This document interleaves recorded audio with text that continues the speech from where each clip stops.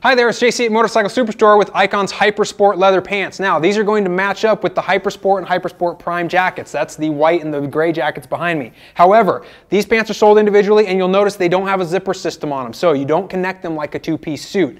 These pants are meant to be worn as riding pants, not over pants. So closure system up here, zipper and a ratchet style, very similar to what you'll find on motocross pants. Super easy to use. Also, adjustments on the waist. Velcro straps, one on each side, so you can actually cinch those down. Jason's wearing a size 44, which I believe is the largest size that these pants are available in. So, made from 1.1 to 1.3 millimeter cowhide. Heavy duty leather stuff, you're gonna see nice perforations on the thighs, also some small logoing here on, on the edge of the pant.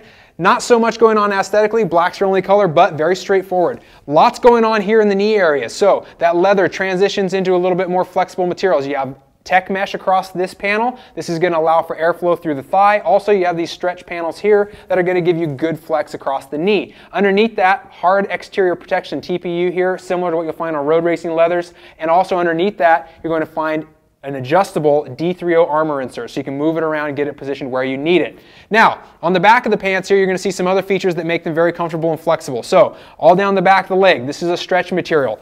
Jason here does not have chicken legs. He's got big legs, and you can see how much extra material is, so guys with really large calves, no concerns down here. Zipper on the bottom to help you get in and out of them a little easier and tuck them into your riding boots. Also, across the top of the pant, it has this nice big expansion panel. Just like you see on the knees, you'll find it across the top of the seat as well. And it does have this panel that goes up onto the lower back, so it's gonna help with your jacket staying down over the top. That's it for the Hypersport Prime pants, or the Hypersport pants. Find them online, see all the details, see the sizes that are available, and the pricing as well. Thanks for watching. Subscribe subscribe on YouTube for more product videos.